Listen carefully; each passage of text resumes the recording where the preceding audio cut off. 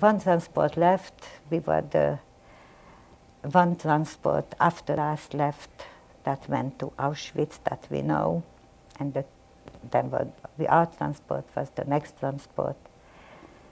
And they said they will, one cattle car will be the hospital, people who are old, people who are sick, they will put them in, and they have less people to put in. So I was, my great grandfather, who was a very old man, he went to this my grandparents, who was in the small brick factory, they stayed behind. With June 28, 95 people was pushed into one cattle car. I know the number when we get out from the, the uh, cattle car after five days.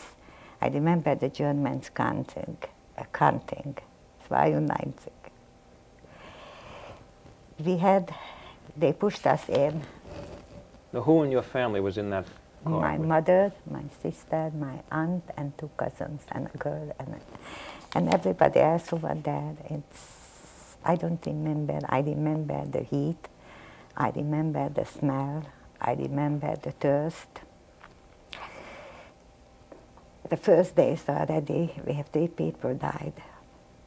They were laying in the floor so after a day or so, the smell was unbearable. Unknown reason, I don't know why, is every woman had the period. For instance, we have no water, we have no food. I don't know how we went through. I really, I don't know, this five days was a, a nightmare. I'm still uh,